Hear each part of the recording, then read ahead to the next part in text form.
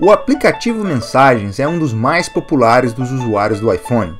E nessa atualização do iOS 10, a Apple tratou dele de uma maneira bem especial. E é claro que eu não poderia deixar de mostrar tudo para vocês.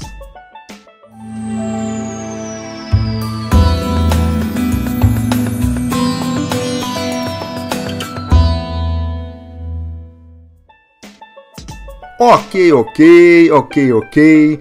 Aqui é o Júnior da JR Tech. Irei começar com os links.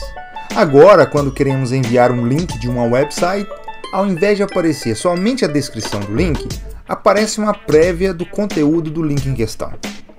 Para um link de vídeo, por exemplo, um vídeo do YouTube, podemos ver o vídeo ali mesmo, sem a necessidade de sair do aplicativo. Bem legal. As funções não perturbe e recibo de leitura agora são individuais. Podemos, para cada um de nossos contatos, ativá-las ou desativá-las.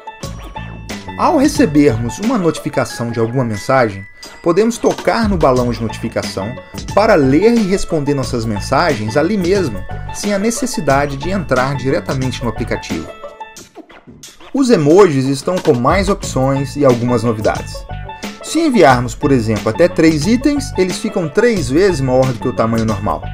Mas se colocarmos mais de 3 ou acrescentar algum texto junto com o emoji, eles voltam ao tamanho original. Legal também é a função de tocar na palavra para substituir um emoji, ou tocar em um emoji para substituir por uma palavra. Tocando na seta de envio de mensagens com o toque 3D, aparecerá o menu de efeitos com opções bem divertidas para dar mais vida aos emojis e às palavras. Em um dos menus, podemos, por exemplo, expressar gentileza ou que estamos falando alto.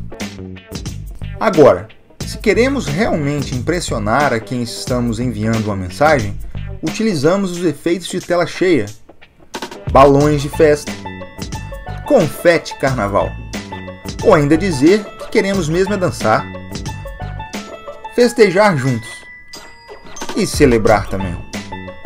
Podemos, por exemplo, fazer um pedido com a estrela cadente.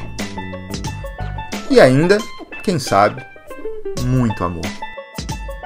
Um recurso muito prático agora é quando tocamos duas vezes sobre uma mensagem para abrir o menu Resposta Rápida, uma boa maneira para responder e interagir naqueles dias corridos. Colocando o iPhone na posição paisagem, ativa a função Escrita Livre. Podemos escrever ou desenhar o que quisermos para enviar como mensagem. Tudo o que vimos até agora foi só o começo. Tocando aqui nessa seta de lado, revelaremos muitas outras funções do aplicativo Mensagens. Vamos começar tocando no ícone câmera. Simples assim, podemos tirar fotos para enviá-las como mensagem. Aqui, no canto superior direito do visor, podemos trocar a direção da câmera. Tudo bem, pessoal? E em qualquer lugar que tocarmos no visor, a foto é tirada. Antes de enviar a foto, você pode apagá-la caso não tenha gostado. Pode também, com um toque sobre a foto, fazer algumas marcações para ressaltar algum ponto que você queira. Caso tenha gostado, é só tocar no botão enviar. Bem fácil, né? Arrastando para o lado direito, você tem acesso à sua biblioteca de fotos e ao aplicativo completo Câmera. Uma observação rápida, mas não menos importante. As fotos que são tiradas no aplicativo Mensagens são salvas no próprio aplicativo e não na biblioteca de fotos do iPhone. Já aqui do lado esquerdo, você tem fácil acesso à sua biblioteca de fotos para escolher e enviá-las como quiser. Temos agora a função toque digital, aqui nesse ícone em forma de coração. Do lado esquerdo podemos tocar para selecionar uma das cores na paleta de cores, para fazer um desenho, tipo uma árvore, ou ainda tocar na seta no canto inferior direito para ter acesso completo do visor, para um desenho, digamos assim, mais elaborado.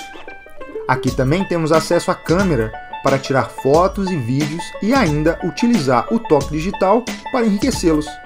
Temos 10 segundos de vídeo para gravar e anotarmos o que quiser.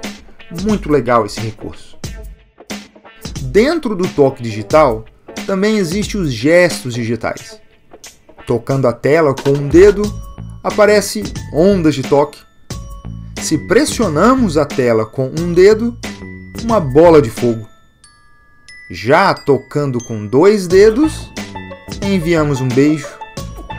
Tocando com dois dedos esperando um segundo, surge um coração. E tocando com dois dedos e arrastando para baixo, um coração partido. Como já disse antes, a Apple deu uma atenção especial para o aplicativo Mensagens e, não por menos, criou uma loja virtual exclusiva para ele, dando ao aplicativo quase que infinitas possibilidades. Além das opções já incluídas, como imagens disponíveis na internet e a possibilidade de compartilhar música, agora podemos baixar todo tipo de aplicativo para fazer nossa experiência com as mensagens muito mais interessantes. Podemos, por exemplo, colocar um sticker em cima da mensagem. Ou quem sabe, desafiar um amigo para uma boa partida de sinuca. Ou ainda, se divertir enviando criações suas com personagens engraçados. Ok, ok, pessoal. É isso que temos por hoje. Se vocês gostaram do vídeo, deixe seu recado, inscreva-se e curta a página. Não se esqueça, compartilhe com seus amigos.